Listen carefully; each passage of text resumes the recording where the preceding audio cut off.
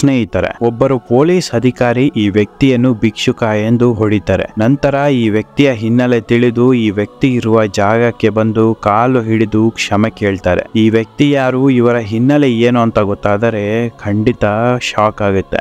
ಅಷ್ಟೇ ಅಲ್ಲದೆ ಇವರ ಕತೆ ಕೇಳಿದ ಪ್ರತಿಯೊಬ್ಬ ವೀಕ್ಷಕರ ಮೈ ರೋಮಾಂಚನ ಆಗೋದು ಮಾತ್ರ ಖಂಡಿತ ಸತ್ಯ.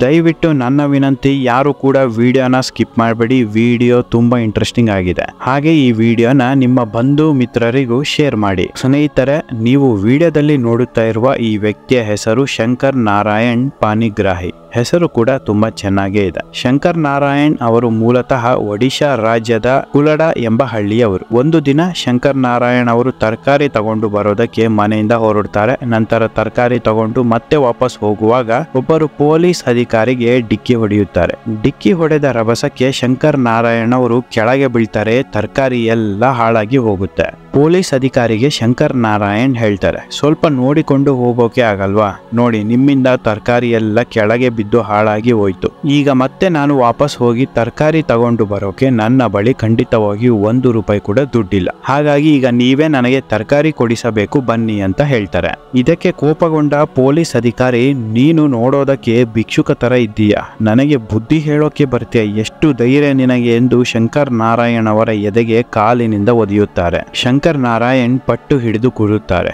ನೀವು ನನಗೆ ಈಗ ತರಕಾರಿ ಕೊಡಿಸಲೇಬೇಕು. ಈಗ ನೀವು ತರಕಾರಿ ಕೊಡಿಸಿಲ್ಲ ಅಂದರೆ ನಾನು ಎರಡು ಮೂರು ದಿನ ಉಪವಾಸ ಇರಲೇಬೇಕು. ನನ್ನ ಬಳಿ ಸ್ವಲ್ಪನೂ ದುಡ್ಡಿಲ್ಲ.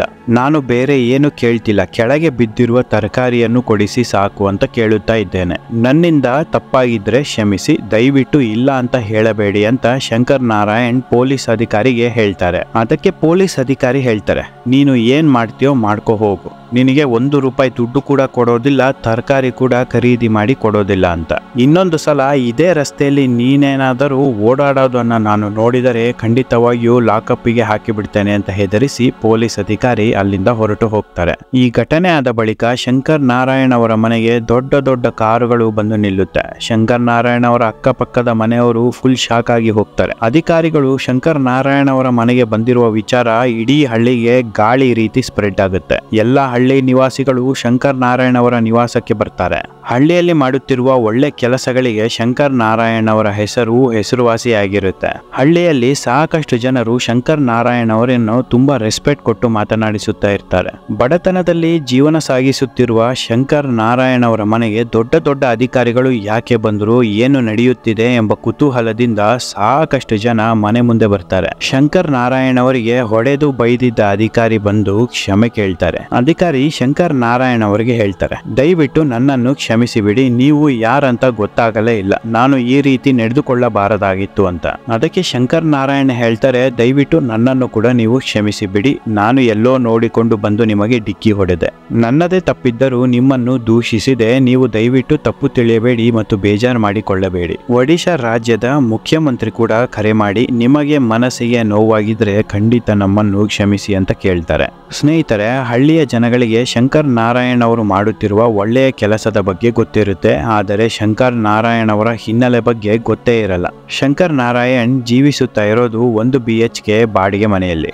TV, sofa, fridge, washing machine ಇರಲ್ಲ. ಅಷ್ಟೇ ಯಾಕೆ? ಈಗಿನ ಕಾಲದ ಸಣ್ಣ ಸಣ್ಣ ಮಕ್ಕಳ ಹತ್ತಿರ ಆಂಡ್ರಾಯ್ಡ್ ಫೋನ್ ಇರುತ್ತೆ. ಆದರೆ ಶಂಕರ್ ನಾರಾಯಣ್ ಅವರ ಬಳಿ ಒಂದು ಕೀಪ್ಯಾಡ್ ಮೊಬೈಲ್ ಕೂಡ ಇಲ್ಲ, ಓಡಿಸೋಕೆ ಗಾಡಿ ಕೂಡ ಇಲ್ಲ. ಶಂಕರ್ ನಾರಾಯಣ್ ಅವರು ಮೊದಲಿನಿಂದಲೂ ನಾನು ಹೇಗೆ ಜೀವನ ಮಾಡಬೇಕು ಅಂದುಕೊಂಡಿದ್ರು, ಅದೇ ರೀತಿ ಹಳ್ಳಿಗೆ ಬಂದು ಜೀವನ ಸಾಗಿಸುತ್ತಾ ಇದ್ದಾರೆ. ಶಂಕರ್ ನಾರಾಯಣ್ ಅವರ ಹಿನ್ನೆಲೆ ಏನು ಗೊತ್ತಾಯ್ತಾ? ಯಾರಾದರೂ ಗೆಸ್ ಮಾಡಿದ್ರಾ?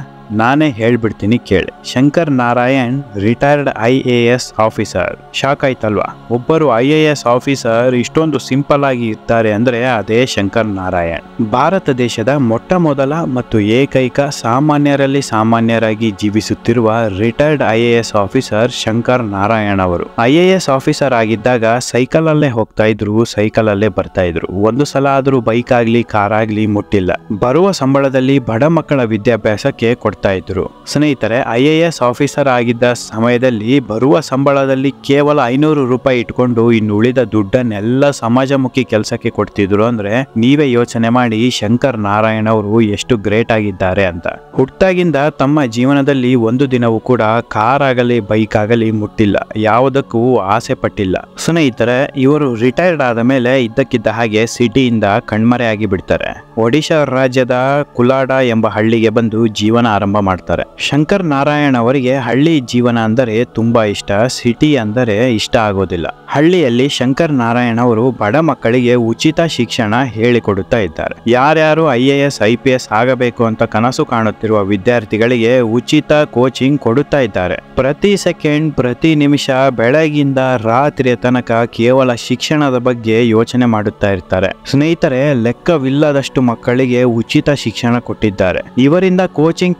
ತೆಗೆದುಕೊಂಡ ಸಾಕಷ್ಟು ವಿದ್ಯಾರ್ಥಿಗಳು ಈಗ ಐಎಎಸ್, ಐಪಿಎಸ್ ಆಗಿ ಕಾರ್ಯನಿರ್ವಹಿಸುತ್ತಾ ಇದ್ದಾರೆ. ಶಂಕರ್ ನಾರಾಯಣ್ ಐದನೇ ವರ್ಷಕ್ಕೆ ಬಂದಾಗ ತಂದೆ ತಾಯಿ ಇಬ್ಬರು ತೀರಿಕೊಳ್ಳುತ್ತಾರೆ. ನಂತರ ಶಂಕರ್ ಅವರನ್ನು ನೋಡಿಕೊಂಡಿದ್ದು ಚಿಕ್ಕಮ್ಮ. ಅದು ಸ್ವಲ್ಪ ವರ್ಷದ ತನಕ. ಶಂಕರ್ ನಾರಾಯಣ್ ಹತ್ತನೇ ವಯಸ್ಸಿಗೆ ಬಂದಾಗ ಚಿಕ್ಕಮ್ಮ ಮನೆಯಿಂದ ಹೊರಗಡೆ ಹಾಕ್ತಾರೆ ಶಂಕರ್ ನಾರಾಯಣ್ ಅವರು ಕೇವಲ ಹತ್ತನೇ ವಯಸ್ಸಿನಲ್ಲಿ ಸ್ವಂತ ಕಾಲ್ ಮೇಲೆ ನಿಲ್ಲಲು ಶುರು ಮಾಡ್ತಾರೆ. ಗೋರ್ಮೆಂಟ್ ಶಾಲೆಯಲ್ಲಿ ವಿದ್ಯಾಭ್ಯಾಸ ಮುಗಿಸಿ ಸ್ವಂತವಾಗಿ ಓದಿ ಯಾವುದೇ ಕೋಚಿಂಗಿಗೆ ಹೋಗದೆ ಐಎಎಸ್ ಎಕ್ಸಾಮ್ ಪಾಸ್ ಆಗ್ತಾರೆ ಶಂಕರ್ ನಾರಾಯಣ್ ಮದುವೆ ಆಗಿಲ್ಲ. ಈಗಲೂ ಶಂಕರ್ ನಾರಾಯಣ್ ಎಲ್ಲೇ ಹೋದರೂ ಸೈಕಲ್ ಅಲ್ಲಿ ಹೋಗ್ತಾರೆ ಹೋಟೆಲ್ ಅಲ್ಲಿ ಒಂದು ದಿನವೂ ಆಹಾರ ಸೇವಿಸಿಲ್ಲ. ಮನೆಯಲ್ಲಿ ಅಡಿಗೆ ಮಾಡ್ತಾರೆ, ಅದೇ ಆಹಾರವನ್ನು ಸೇವಿಸ್ತಾರೆ. ಶಂಕರ್ ನಾರಾಯಣ ಅವರ ಬಳಿ ಯಾರೇ ಸಹಾಯ ಕೇಳಿಕೊಂಡು ಬಂದರೂ ಹಾಗೆ ಕಳಿಸಲ್ಲ, ಕೈಲಾದಷ್ಟು ಸಹಾಯ ಮಾಡಿ ಕಳಿಸುತ್ತಾರೆ. ಹಳ್ಳಿ ಜನಗಳಿಗೆ ಯಾವಾಗ ಶಂಕರ್ ನಾರಾಯಣ್ ಅವರ ಹಿನ್ನೆಲೆ ತಿಳಿಯುತ್ತೋ ಎಲ್ಲರೂ ಒತ್ತಡ ಮಾಡುತ್ತಾ ಇದ್ದಾರೆ. ನೀವು ತುಂಬಾ ಒಳ್ಳೆಯವರು ರಾಜಕೀಯಕ್ಕೆ ಹೋಗಿ. ನಿಮ್ಮಂತವರು ರಾಜಕೀಯಕ್ಕೆ ಬಂದರೆ ಜನಗಳಿಗೆ ಒಳಿತಾಗುತ್ತೆ ಅಂತ.